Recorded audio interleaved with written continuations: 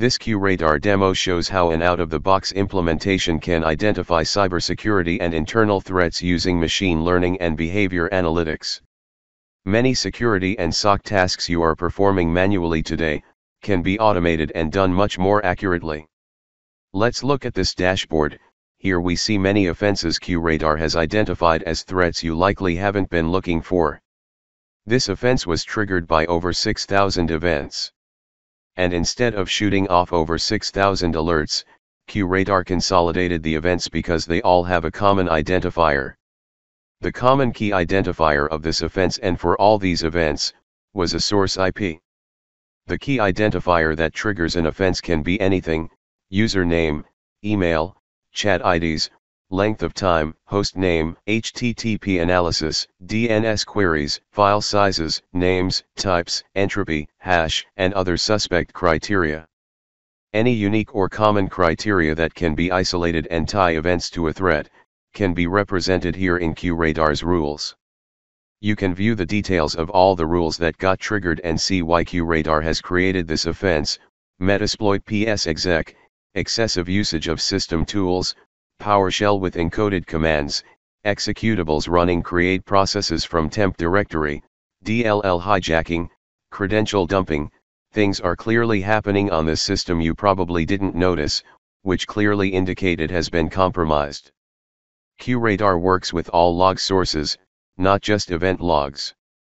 It also analyzes network flows, such as scanners and other devices sending packet information. In this offense we see 8,300 events that have been correlated, and 36,433 network flows that contributed to its threat credibility. Someone scanning your internal network, isn't going to be captured in an event log. But network flows do, such as IP addresses from pings into your network. Sending flows to QRadar allows packet information and payloads to be included for analysis. QRadar includes a vulnerability scanner that can do deep packet inspection of application-level network flow data that can detect threats that don't have signatures, or identify and correct non-compliant behavior of applications not using standard ports or unencrypted protocols. And you can send flows from your own scanners as well. This particular offense only has 20 events and 450 flows, but QRadar was able to detect a file hash that made it through the network, the file hash was discovered by the PhishMe threat feed. So how was QRadar able to connect all these dots and discover this? That's a good question, so let's discuss the QRadar App Exchange real quick. QRadar has a lot of built-in rules out of the box, but it can also import security intelligence from external threat feeds, such as IBM's X-Force Threat Intelligence which is a free feed that provides data sets or indicators of compromise like hashes, bad web and IP addresses, which populate and updates QRadar tables and rules. This is the App Exchange, which has a lot of vendor and business partner apps which have their own cybersecurity experts and can feed context and intelligence to your QRadar SIEM. Look at this list. Cisco, Carbon Black, VMware, Palo Alto Networks, Symantec, McAfee, ServiceNow, Amazon, Juniper, IBM Watson, Microsoft, Fortinet, and here is the PhishMe intelligence app that we saw earlier. If you're not aware, PhishMe is dedicated to identifying the latest phishing, malware, and attachment type threats that require constant monitoring. The PhishMe app gathers all the indicators of compromise required to investigate these threats and feeds this intelligence into QRadar.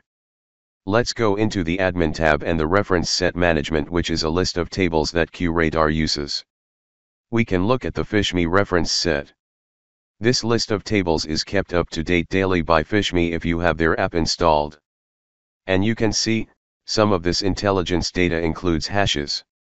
And if you remember, that last offense identified by PhishMe was a hash. So someone obviously sent something malicious into the network to be targeted. QRadar can get hashes from many different sources, like an app you have downloaded from the App Exchange, like Sysmon, Carbon Black, or maybe from QRadar's Network Insights module. There are many sources that QRadar can utilize and feed your console with rules and alerts which you could not possibly do all yourself. In this case, it was the QNI that assisted in the discovery of this offense, by calculating the hashes as the files came into the network, which encompasses over 40 key fields that are part of the payload, not the flows or logs, but found inside the payload to discover things you had no clue were occurring on your network. All those apps you saw earlier are not just providing rules and intelligence data for QRadar, those applications also have features specific to their product or service that gets integrated into the QRadar console for you to use. This installation happens to have BigFix for software patch management and Carbon Black. If you own these tools, you should download them so you can have these integration features. By clicking on that IP, I can perform a search within Carbon Black without actually leaving QRadar and see other details that Carbon Black provides. Or use BigFix to see what patches are installed on this system, what files have changed in the last 30 days on that system and the file hashes of each of them. A great wealth of information is made very quick and simple to access. You probably have security tools you heavily rely on, and QRadar likely has an app that you can download and integrate into your SIEM. There are many features in QRadar that simplify and automate tasks for you. Or perhaps you have Amazon or Microsoft Cloud logs that you want to send to your SIEM, just download the app. Let's look at this offense destination vulnerable to detected exploit from an SMB attack. How does QRadar know this? QRadar can be fed the data from your vulnerability scanner and from your IPS, or the scanner included with QRadar. Your vulnerability scanners have no way of knowing when something is under attack, but your IPS knows what is under attack. QRadar reads both logs and automatically connects the dots for you, which triggers rules like this one. The QRadar license includes a few other very powerful apps which you should be aware of. For instance, the free User Behavior Analytics app. It monitors and analyzes event logs and flows generated by your users which are pulled in from Active Directory or LDAP, and assigns them a risk score based on all the risky actions and places they have been.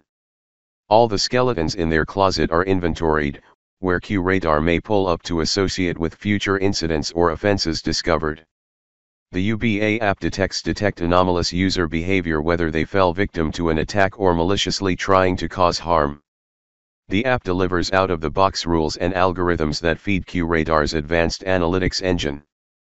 Thresholds can trigger an alert when a risk score exceeds a specified level. You can drill into users' risky behaviors, go back into the user's history and look at a specified time, dive into spikes for a particular day and hour. Here we can see someone from China and other places was trying to guess his credentials using the UBA app. One of the most helpful apps in the App Exchange is the Watson Advisor you will likely only use this powerful resource in complicated situations when you just can't connect the dots and see the underlying source of the threat. Let's look at this particular offense. It only consists of two events. On the surface this does not look critical. So why did QRadar flag this as an offense? So, I submitted this offense to Watson to hopefully shed some light on this offense. If you read below, Watson has provided a threat assessment. He gathers insights from millions of external sources as well uses local data mining. In this offense, the Ugly Gorilla campaign is the primary suspect which uses tsunami and smoke loader malware.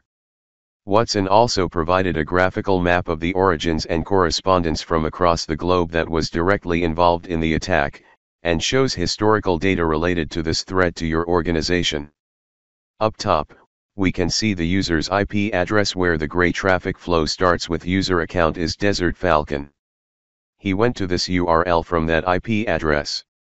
Watson also applies cognitive reasoning to build relationships among other discovered threat entities, and associates them to the original incident such as malicious files, rogue entities, insider threats, and other criteria. You can zoom in and out to see the big picture, but let's look at where it all started. You can also see other traffic represented by other traffic flow colors. The blue traffic is what QRadar has seen related to past known threats and offenses where Desert Falcon visited previously. If you zoom out, you can also see another known threat actor involved called the Ugly Gorilla which has been attacking your network.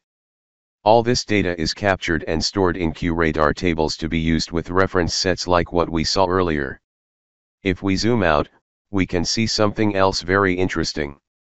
QRadar went back into the historical log data, and discovered there are two more employees, Jenny Davin and Ray Karen, that were attacked by this tsunami malware we see here. These are just a few examples that illustrate how QRadar can simplify the daily lives of security analysts and SOC operators. Please contact us if you have additional questions, would like pricing or to schedule a live demonstration focused on your specific requirements. We can also arrange a proof of concept evaluation. The QRadar SIEM is available for purchase as an appliance, software license, and for customer provided VMware environments.